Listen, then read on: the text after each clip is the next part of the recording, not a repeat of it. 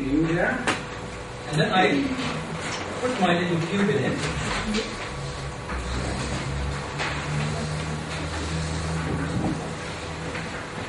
And I put all these arrows, on this place. Here, exactly the opposite on this side. There's one there, let's make it a little smaller, exactly opposite. And then there are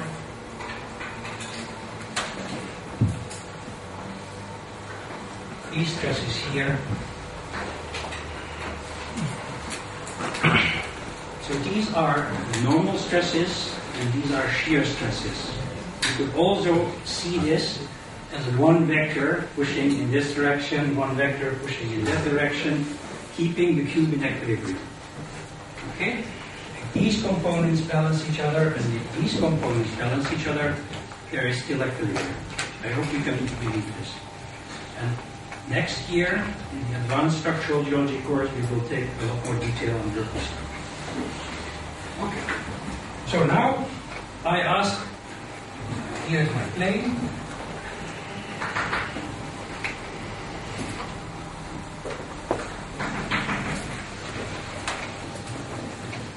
And what is this vector P? That's what I call it.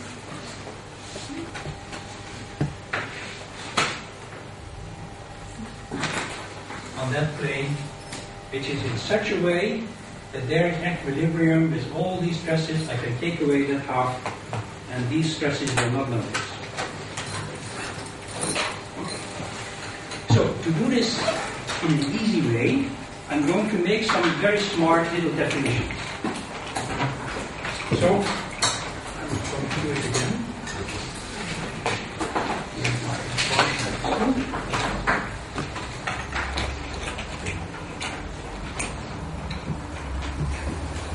And I define my plane like this. And you could imagine to get really a Newton a square meter, this is a kind of a wedge. There is a third dimension, the length one. I, def- I define this plane in such a way that it has an area which equals one. I can do that. Okay? Define the normal to the plane as my vector L. This is my plane normal. So L has two components, L1 and L2. Still no problem. The area of this side of my little triangle is now equal to L1 because this has the area 1. The area of this one, just the same argumentation. So remember, this is how I define it. Area is 1, not the length, area. So now let's just make another copy of this little diagram here.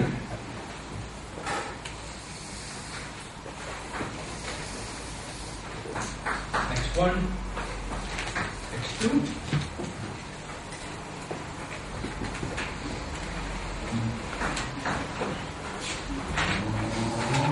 Here's my plane. And now on this plane, I have sigma 1 1.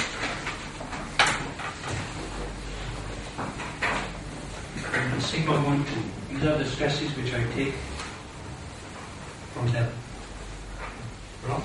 Okay, so I made a mistake. I still have to define what sigma 1 1 and sigma 1 2 is. I haven't done that yet. The way these are defined, this is the stress, which is normal, it acts in the one direction, on the face, which is normal to the one axis. This is defined as sigma 1, 2. This is defined as sigma 2, 1. This is sigma 2, 2. And, and so forth. Okay? So in this case, I have sigma 2, 2. And exactly in this direction, sigma 1 which equals sigma 1 2. And now what I'm going to calculate is the value or the vector of the horizontal component, the one component of my vector p. Okay? So what I calculate now is p1, which is horizontal. And for that, I need to use the formula for equilibrium. The forces in this direction are, have to be the same as the forces in this direction. Okay, what are those forces? Well, remember force is pressure times area. So the force to the left, P1 times 1, remember the area is 1? That is the force to the left equals sigma 1 1 times the area, which is L1,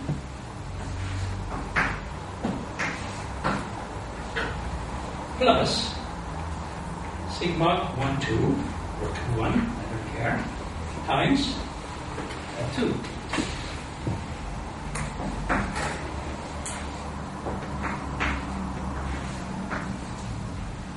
This is the horizontal component of my p vector on the plane.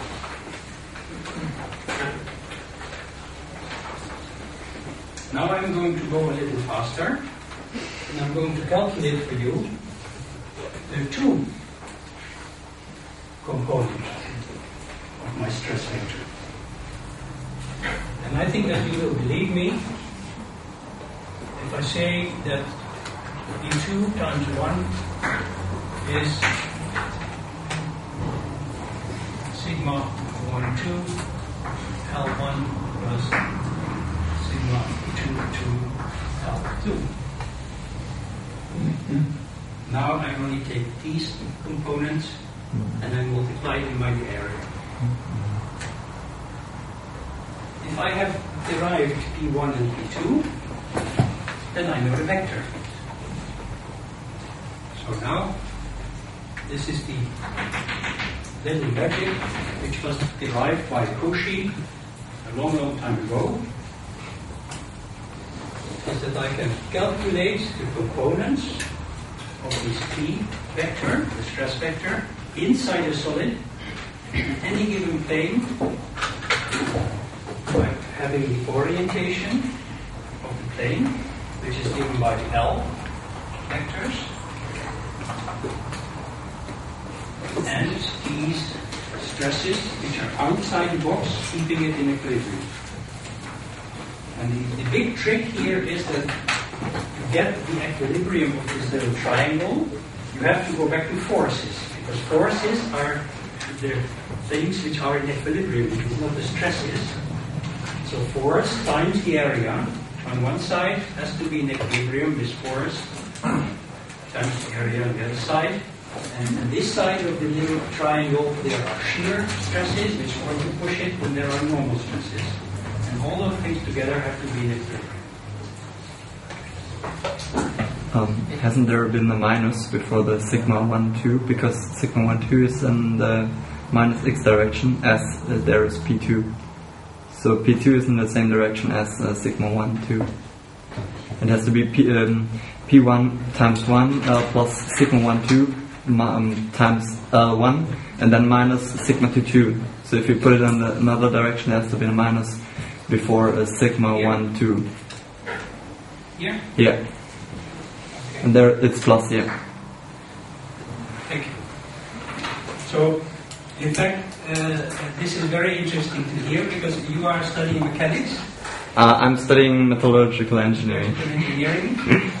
Um, in geoscience, the definition of these stress vectors is such that you don't use the minus sign. depends on whether you define compressive stresses as positive or tensile stresses as positive. So the question that you brought up is uh, very interesting, and uh, uh, this is one of the things that when you talk about stress vectors and tensors in the bar, then you can get a lot of confusion between students because geoscientists define it in a different way from metallurgists. Okay, now we should switch on the beamer.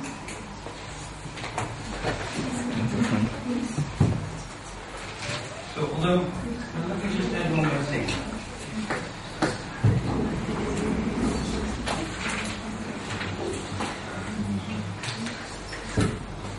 There is still one more, um, still one more way that you can tweak this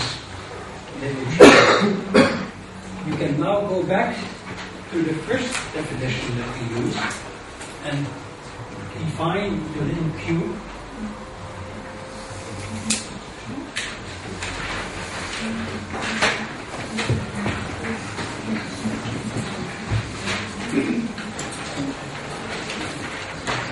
to be in equilibrium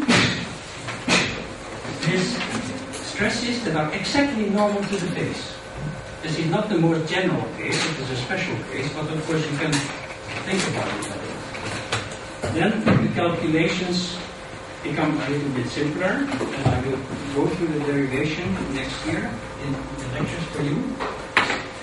But what you can do now is you can again define this plane.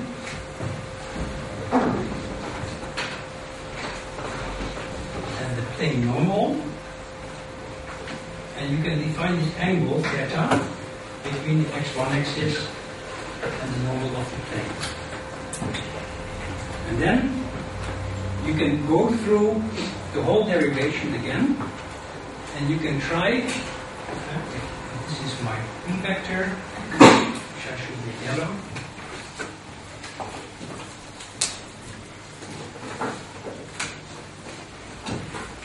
You can now calculate the normal component and the shear component of this p vector. Once you have the p vector, of course, you can calculate this normal shear component. And if you do that, I don't have time in this course to go through the derivation, but it's not very difficult. Then we have here the normal component component of this p vector. And for those, now of course these stresses on the side can be defined like sigma 1 and sigma 2 because they, they are now just normal in that phase. These are the principal stresses. And then you get this equation